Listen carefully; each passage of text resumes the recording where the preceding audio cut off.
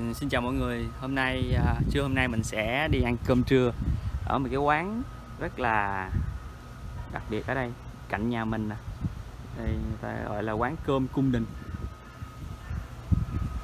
Quán này thì à, nó sẽ à, cơm nó giống như cơm truyền thống là nó sẽ có rất là nhiều món phụ khoảng 10 10 10 món phụ mình chưa ăn ở đây vì sao vì mình đến đây mấy lần rồi nhưng mà nhưng mà toàn là hết chỗ mà. Hôm nay tranh thủ mới 11 30 mình rủ thằng bạn đi ăn. Bây giờ mình à, sẽ vào order coi. Thì à, cho mọi người coi là sẽ là những món gì ha. Ok anh ngồi đây nè. Giờ mình order con kia để cho người ta làm ra. Một phần như vậy thì nó có nhiều món phụ lắm. Mình cũng không biết món phụ đây là cái gì nữa. Nhưng mà nghe nói là từ 10 đến 15 món phụ luôn á, mọi người. Hả? anh nhân 안녕하세요. Why? no mọi người thấy quán này đẹp không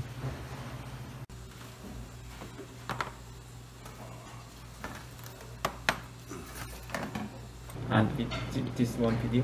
yes video đây là món đầu tiên món cá chiên đây là rau với ờ, nước chấm còn cái này là nước gì ta à, 수육요. à, gì? 어, 밥, 돌솥밥에 이제 나중에 밥 떠올라서 끝나는 Dạ. đây mọi người thấy có ờ, bốn món nè bốn phụ sáu tám mười ba món đấy cái này thì à, mình sẽ nói từng món nha mình sẽ có rất là nhiều món rồi mọi người đây, đây là khoai chiên nè đây là cà tím nè dưa leo đấy còn này là à, kiểu như sò lông này, đây sò huyết sò huyết. Rau luộc. Này là khô cá. Kia là đồ chua cải chua. Cái này cũng là một món mắm luôn. Cá chiên chín nè. Cái này là mình không biết nó gì luôn. Nhưng mà miếng. Còn này là cũng một loại khô cá nữa cá cơm cái này là một loại mắm cải đấy rau với à, thịt luộc như còn tiếp hai cái hai cái gì đó yeah. không sai Mita à, cái này là yeah. Oh yeah. canh rong biển okay open and I will take a picture. This one is for you. Okay, you you make I will I will ah, okay, talk. Bây giờ là bạn mình sẽ chỉ với mình cách ăn nè trong đó là cơm nấu bằng nước dừa hay sao mà nó đẹp quá đó bỏ ra cái này bỏ ra cái tô à, You know, 숭늉 you know? You don't know? I don't know This one is you know you 누룽지? I don't know You don't know? Uh, this one is uh, múc the pap Ừ. and ok bây giờ mình múc cơm xong rồi đây là cơm cháy nè rất là ngon nhưng mà người hàng ăn là họ đổ nước vô như vậy. Ok. Đây là cái à, cái nồi cơm nấu bằng cối đá nha mọi người. Xong rồi đậy lại. Bây giờ là múc cơm ra xong rồi mình đổ nước cái nước ấm nước này vào trong cái này. Để đó giờ mình ăn cái này xong rồi mình sẽ ăn cái này sau. Ok. Ăn thử đi.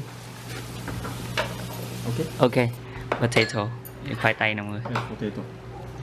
ừ ngon ngon lắm ngon lắm ăn cái cơm này thử coi nó như thế nào Mm. ừ Cái này nó mềm mà nó có nước cải á rất là ngon 맛있어 맛있어? 맛있어 Right, right. ờ. đây là một loại cá cá biển nè ok Right, right. yes thử cái miếng cá này có ngon mọi cá nhìn hấp dẫn quá nè. Nóng quá. Ừ ừ ngon. Cá biển thì ngon lắm. Oh yeah dạ, like in the Chuck market.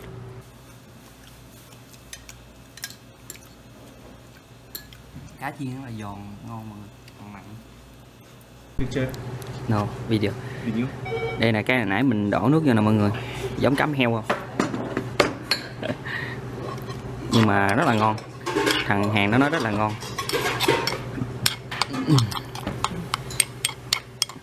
Mà hầu như mình thấy nhiều món mà người ta hay ăn tới giọt cuối cùng như vậy nè. Không là ở Việt Nam mình là bỏ rồi không? Giờ bỏ cá này vô ăn. Sấy thôi mình ăn nha ok. À, mình đã sơ qua những cái món này.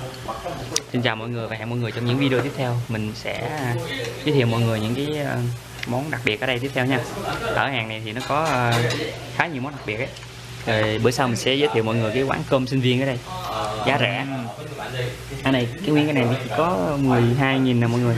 Là khoảng 240 240 nghìn tiền Việt Nam khá ngon. Nha bye bye mọi người. Chúc mọi người ăn cơm ngon miệng. Hẹn mọi người trong những video tiếp theo đừng quên uh, like và đăng ký kênh mình nha. Bye bye.